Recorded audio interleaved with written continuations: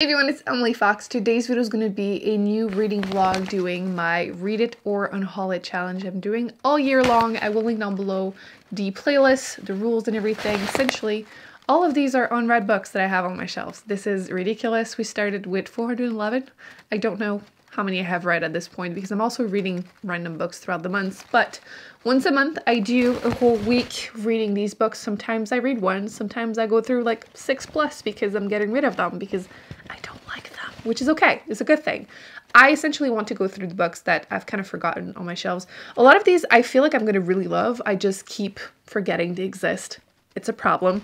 Uh, but not this week. We're not forgetting anything. Let me find a thing. I'm not going to shake it this time because the cat goes absolutely insane every time I do this because she thinks it's treats. I didn't realize that until someone commented it. So it's green. Green is fantasy, which is a genre that used to be my all-time favorite and I've been neglecting it for the last year. I don't know why. So it looks like we're fixing that. Um, hopefully it will focus. Hopefully it's also on the right side. I didn't check. Can I, I can't even see through, so I have no idea. Hopefully this time it focuses. I'm nervous. Some of these are really big and a lot of these are part of series, which I've been really terrible at finishing series. Oh, it was backward. City of Stairs. Oh, that's a good one, actually. Oh, I'm at... That is a really good one. Okay, I'm happy. Okay, so City of Stairs. I know where it is. These are my two fantasy shelves.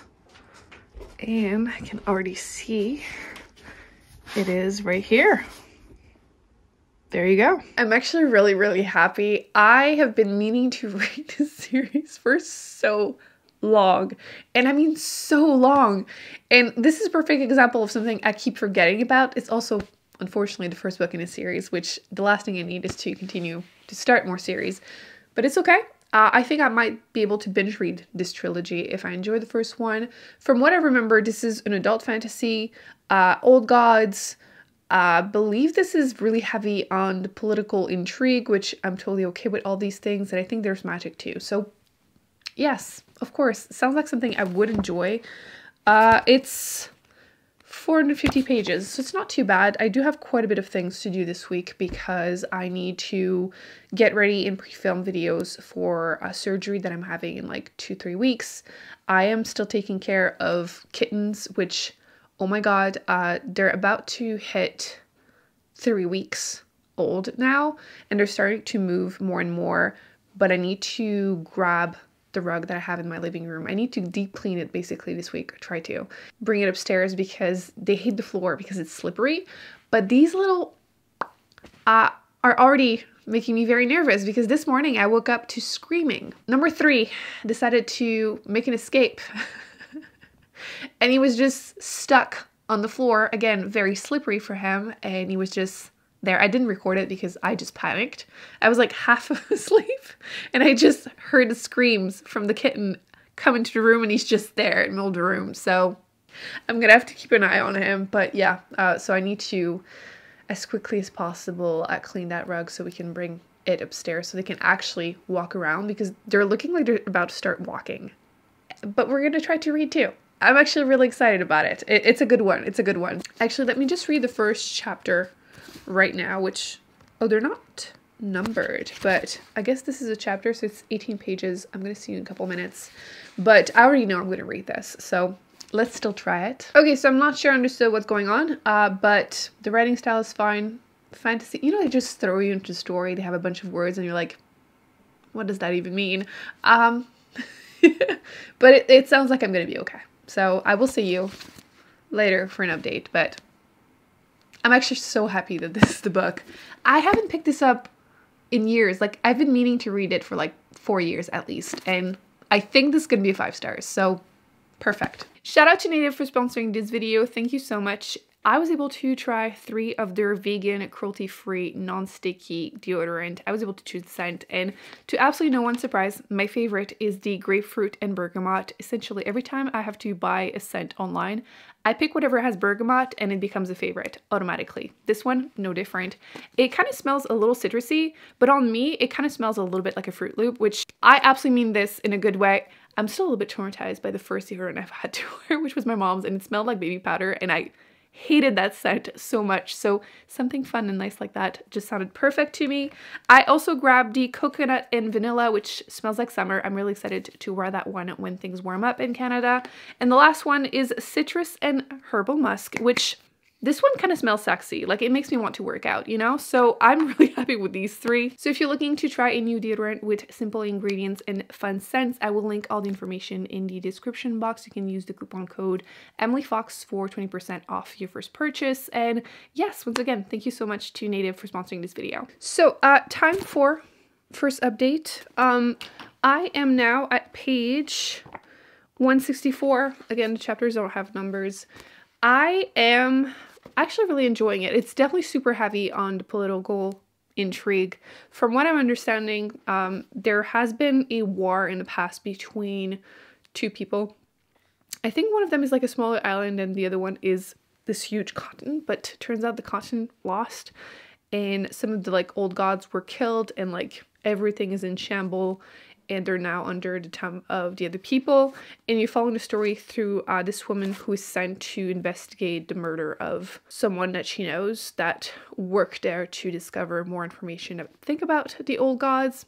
I'm probably explaining this all over the place. Again, I'm not even halfway through the first book, but I'm actually really enjoying it so far. Uh, the world building seems seems interesting. I'm intrigued uh, to hear more about the magic and world and the gods and yeah, I- am seeing the potential. The writing is fine. The only thing is the character, you get flashbacks of her as a teenager, and I don't know if I'm getting like Mel Author writing a teenage girl or just a teenage girl being cringy. I don't know yet. I haven't decided. Um, but it's not it's not awful. It's just, you know, a little something that I'm keeping in mind. Very intrigued to see what's going to happen. Seems to have a lot of action, even though, again, it's pretty political intrigue heavy. And yeah, so far so good. Audiobook wise, I'm still listening to uh, Bad Gays, throwing it out there, even though it's not really part of challenge, but I'm really enjoying that one too. And yeah, so far so good. I have yet to clean the rug also. Um, in my defense, I have been feeling so overwhelmed. I had to change, I had a dentist appointment literally the day after uh, I was getting surgery. I didn't realize until, you know, they called me to confirm, like, nope, I can't do that. So luckily I'm having that tomorrow. So I feel like so overwhelmed that I keep dropping things. Uh, but this is good, which is what matters. And eventually I will find the time to clean the rugs because the cats are driving me cuckoo. Number three made an escape again. This is what I'm waking up to. The cat is screaming and then I see a baby. What are you doing? What are you doing, number three? Yeah. Yeah. Oh, God. The other ones. I thought you would be the problematic one. But now, it's you. It's you, little baby. Yes, I'll take care of you. Um, E is on my list. Mm, mm, adorable little baby. Adorable little baby. Love him to bits. Usually when I come into the room and like, you know, call them my babies, they all come running, especially that one. So I love him but he's testing me. so I'm gonna have to eventually close the door. I haven't had to do that yet or put something to block it. They're starting to walk. They were crawling until like a few days ago. Their little butts were too heavy. Not anymore. Not anymore. They're starting to walk and it's really adorable. They look still very drunk when you do anything. And Number one, I wanted to include more clips because I mentioned it. He makes me laugh because he's just staring into space very often. And I didn't include as many clips of him last week because of that, because he wasn't doing things. And I wasn't necessarily recording him when he was doing that because it doesn't last, you know, forever. But I, I think I got him a few times and he's just there. Like everyone is like fighting, nursing, sleeping, and he's just sitting there staring at nothing.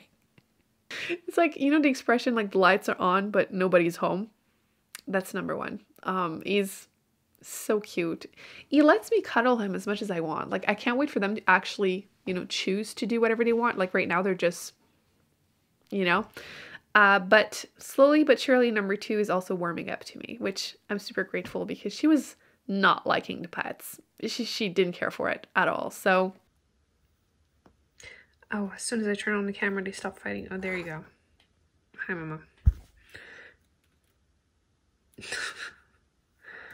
Show them how you've been so socializing. Hmm? Yeah, number two, pretend is pretending she wasn't fighting everyone two seconds ago. I grabbed my phone, she stopped. you look very innocent, but we all know. Clearly, I'm obsessed with them, but who wouldn't be? I know you guys are too, so. Well, this is going to be an interesting update. Uh, here right now, we have a crazy freezing rain storm. It's not looking good. It's really, really not looking good. Um, this is my, my window in my living room right now yeah, uh, and we just started and I already lost electricity. And the worst part is that I've never lost electricity as many times as when in the last like three years of living here. It's been relentless. So clearly, old neighborhood. Um, the good news is I'm gonna have a lot of time to read this book. I have like 150 pages left, so I think I might finish it tonight if it doesn't come back. Um, and it doesn't look like it will. The internet on Twitter Hydro-Québec is like saying that it's, it's not looking good either. And like literally everyone I know one by one is losing electricity. So yeah, um, I'm probably going to lose all my food, which that's the only thing I'm worried about because hopefully not. I'm going to be eating some peanut butter banana sandwich tonight, but 150 pages. Currently, it's fine in the house. It's 19 Celsius because I increased the heat knowing that it was a possibility. The kittens are fine. I'm okay. Clearly, I am wearing layers. Um, I'll be okay, but hopefully it doesn't last too long. I was about to shower, clearly. Um, so fingers crossed though that um, I should save my battery. Enough talking. I'll see you probably tomorrow. I'm gonna be done for sure. Good morning. Um, this vlog is nothing like I had planned, but we're following my real life and my real life has been very chaotic. We lost electricity for like 48 hours. I have yet to check on the food, in my freezer, because I'm kind of terrified. I know the ones, the one, the food in my basement is no good anymore, but I'm hoping that upstairs is gonna be fine. Anyway, I'm finally warm. Yesterday I got down to like 15 degrees in the house, Celsius. Um, so it was, it was cold and I was about to go to my dad's place to shower because he got his electricity back and I was going to be able to plug my stuff because my phone was dying and I had been recharging it on my laptop, but you know, it was dying too. And I was getting worried about the kittens. They were fine. Um, they were spending a lot of time in that little house thing. I have like one clip of that. I was trying to, you know, save my battery, but they were doing fine. But I was starting to think if it lasted longer, I would have to move them somewhere else. And like four cats is a lot uh, to bring anywhere. So yeah, that, that's the update for the life. So I was able to shower last night when the electricity came back. I had just found fairy lights with uh, that work with batteries. I ordered them by mistake, didn't think they were battery operated and I'm glad I was too lazy to return them because it was easier to use than like candles. Eventually candles, it's like smells too strongly and I didn't want to open the windows because anyway, um, so that's the update for the life events. Now the books. Uh, first off, City of Stairs, obviously finished it because I had nothing to do. Um, it was great actually. Frankly, I feel like this is the kind of books that my reviews are kind of boring because it was a solid fantasy and I haven't been reading a ton of fantasy and it's just a solid one. Very heavy on political intrigue, uh, some twist, some interesting world building. I, towards the end, I was wondering like, how is this going to be a trilogy? I feel like this could be a standalone, but then you know, the ending kind of opens the door for more and I will happily continue. I think I'm going to give it, I don't know, maybe it's a 4.5. I'm rounding it up to a 5 though. It's definitely the best fantasy book I've read in a while and I'm super happy that I accidentally, randomly picked it up for this challenge. So yeah, I totally recommend it if you're looking for another fantasy series. I'm intrigued to learn more about the magic system. Like I really liked, I really liked it. And then um, yesterday, I was very, very bored, so I started the book that I was meant to read for the next vlog because might as well. Um, and it's I Have Never Known Men, but in French, Moi qui. Would you like me to do like a more in-depth review in my legs vlog? Because that, that was the plan originally. I put a bunch of post-its in it and I wanted to compare it to the English version, which honestly, right now, my review is that this is a five stars and I liked it even more a second time. Absolutely. I also started an ebook because I had, you know, my Kindle, I could read books. I feel like every time I lose electricity, which is way too often, I'm like, oh, I wish I had downloaded more or different books. and I felt the same because there's an arc that I was meant to read uh, this month and I didn't have it downloaded on my Kindle, so I couldn't read it. But I started uh, Beware of Chicken, which is like a, I got it because of the title and the fact that I wanted to read more like wholesome, low stake uh, fantasy, and it totally is.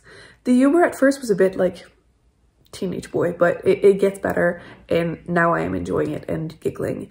Um, I'm like 28% into it, because again, nothing to do when once the sun was down. But it turns out it's a long one. I don't remember how many pages, but it's a long one. Uh, my Kindle was saying that it was going to take me like nine hours to finish it. So in this one, you're following uh, this man who comes from our universe, but he wakes up in a body in a alternative, like in ancient, ancient uh, China with magic world. And he wants to, he wakes up in the body of a monk that has like magic and he just decides to leave all of that behind and uh, become a farmer. And it's like very low stake. And so far, I'm actually really enjoying it. So I feel like it was good to balance the stress of losing electricity and the stress of reading I Who Have Never Known Men because that book is bleak, fantastic, but bleak. So yeah, that's kind of been um, my reading experience this week. Um, I, I do not feel great right now. I'm just very stressed still, uh, but I'm so relieved that electricity is back. The cats are good. I will include a bunch of clips of the cats uh, in next week's vlog because once again, I was saving my battery as much as possible, but I do want to say that, um, you know how in the past only the chunky baby one, the number three, um, was purring? Now all three of them purr. I can't deal, they're adorable. I did move the rug I didn't mention that. Uh, that was my biggest thing. I was like, this is a sign I should move it because I can't deep clean it. And I was very bored. So what did I do? I used one of those brushes to remove as much like cat hair on it as possible. And uh, I kind of kicked it a bit before carrying it upstairs, which it wasn't as heavy as expected. So that was good. Um, but I will eventually deep clean it. But right now it's upstairs and the cats are happy because they can run around and run around is a big word because, I mean, the little black and white one, she was the first one to go. She's very light, so she's pretty good. I mean, she, she's running funny. I will get clips next week, promise. Uh, and number three, Chunky Baby, he couldn't get up on the you know, floor because it was too slippery. He's still kind of struggling on the rug, but it's helping him. He's gonna get stronger and, you know, get to it. Uh, lots of clips of them fighting. I probably have some of that because I tried this morning and that's pretty much all I got, but they're adorable. I love them. And um, yeah, I attempted to give them a little bit of wet food because again, I was bored. Um, just to try it, you know, the first time and they were not interested whatsoever. Mama ate the whole thing. So at least it wasn't wasted. And I mean, she needs calories. She's nursing three chunky babies. So they're all getting enough weight too. So yeah, that was not the vlog I expected, but I kind of did what I meant to do. I mean, I didn't continue my read it or unhaul it, too much stress for me. So I switched to whatever I wanted, but that's just me being honest. So yay.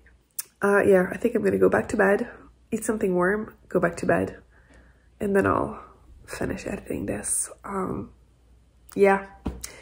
Next week though, I'm going to talk to you about more about the book and I have a really exciting fantasy again to read. I'm reading fantasy again. Who am I? I'm excited. Only finished one book for the read it or unhaul it, but it was a five star, so I feel like I'm not too mad that I stopped right there. That way, you know, technically I probably wouldn't have had time to read anything else if it weren't for losing electricity. So success in my book. I'll see you next week.